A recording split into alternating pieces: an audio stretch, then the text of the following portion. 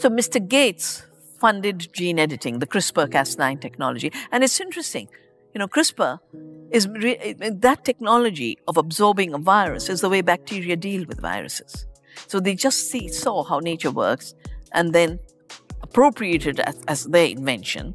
And he funded the California scientists and the uh, scientists in Cambridge. Then they started to fight. So he funded both to fight the patent. And he has a company called Editas that holds gene editing patents. But he got the Berkeley scientists the Nobel Prize. And this at a time when other scientists were finding out that it's such an imprecise and disrupting technology. Just give you one or two examples. You know, it talks about precision, but a, a, a study found that 1,500 single nucleotide mutations took place and 100 larger deletions and insertions when one gene was edited. One gene. 1,500 unpredictable impacts. An increasing body of knowledge is showing there is total unpredictability, unpredictability in the outcome.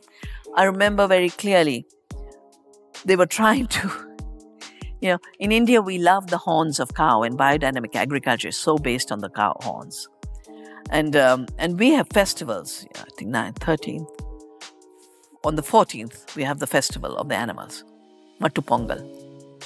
And they decorate the horns of the cows, and the cows are left free. You can't, you can't rope them in.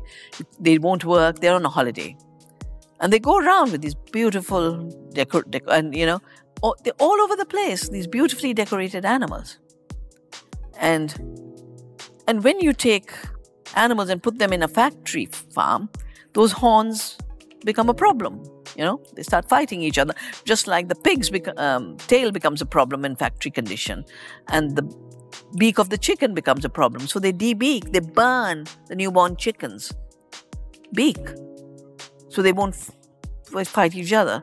They detail the pigs, so they will they create conditions of violence, and then do more violence to solve the problem, which can't be solved. Anyway, gene editing.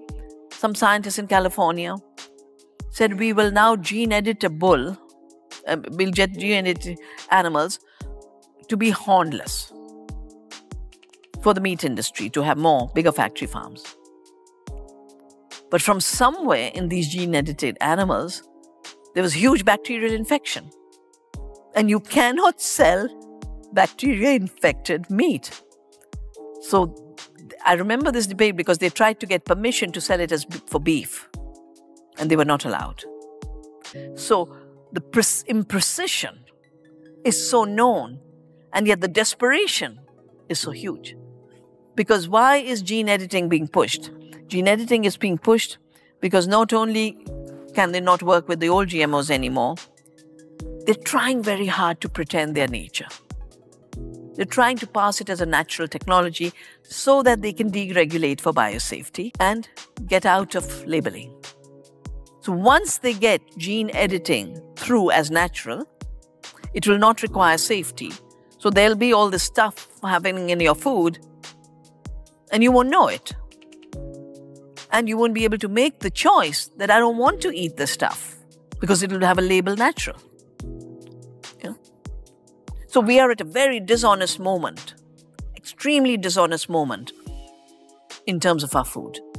And this, because movements have been so successful, because the agro organic movement has been so successful, because the biodynamic movement has been so successful, this is why the aggression to introduce fake technologies and force it on society is become the single most biggest agenda for the industry. And when I say industry, I mean both the financial part of it and the biotech part of it, the part that wants to control the seed, and now to control the food.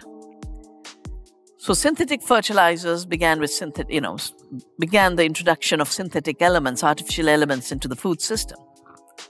Then you had, instead of, of breeding of whole organisms with whole organisms, you now had genetic engineering to really not have the the clearance of the organism to accept modification. It was a forcing of the organism.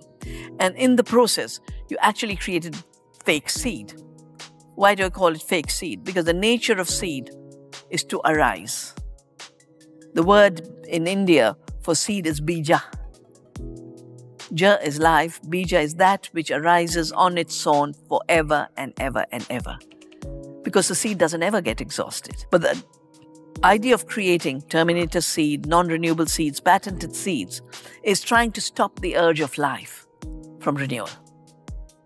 And it's worse than that because not only is it trying to control the seed, it's then trying to criminalize the farmers who save seed and exchange seed. And this is the reason I save seeds. This is the reason I started Navdanya. This is the reason I do the work I do. We've created 150 community seed banks in India to reclaim seed as a commons. We've written laws that say seeds and animals and plants are not inventions. So in India, it's not patentable. And we have laws on farmers' rights that farmers are the first breeders and their rights cannot be alienated. And I do hope some of you will find your way to Navdanya. I, I met some of people who have already been, and I know the uh, the young people who are going through the course come and visit. This uh, this finding ways to extract, to make profit, and turn renewability of life into non-renewability, to turn the abundance of life into scarcity is what the fake food is all about. So the fake food begins with, you know, the high fructose corn syrup made from GMO corn, and you never hear of the harm it's doing. And because it's addictive, it's it, in the America in America it's put in baby food, it's put in sausages, it's put in everything because it creates the urge to eat more. But now babies and children are getting cirrhosis of the liver because this molecule goes and hits straight away. The because food is the currency of life, it is the communication between the soil and the plants. I want to just share with you my my understanding of this that